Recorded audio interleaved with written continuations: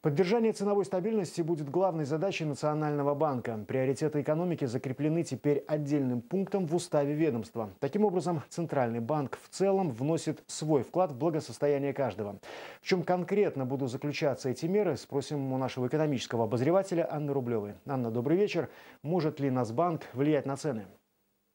Добрый вечер, Сергей. Напрямую вмешиваться в регулирование ведомства не имеет права. Для этого есть Министерство антимонопольного регулирования и торговли.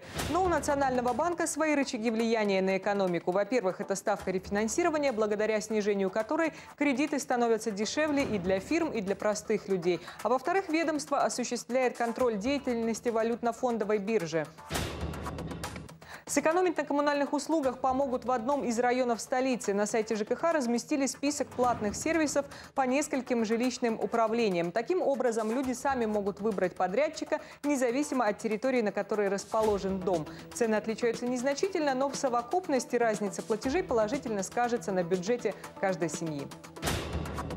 Инфляционные ожидания оказались завышенными. Белорусский рубль крепко держит свои позиции, а вместе с ним и постоянство на ценниках в магазинах. По данным Белстата, инфляция в марте составила всего 0,3%, а цены на продовольственные товары стали чуть ниже, на десятую долю 1%. Кстати, тарифы на интернет до конца года повышать не планируется. И напомню, что в планах правительства не допустить превышения порога инфляции в 9%.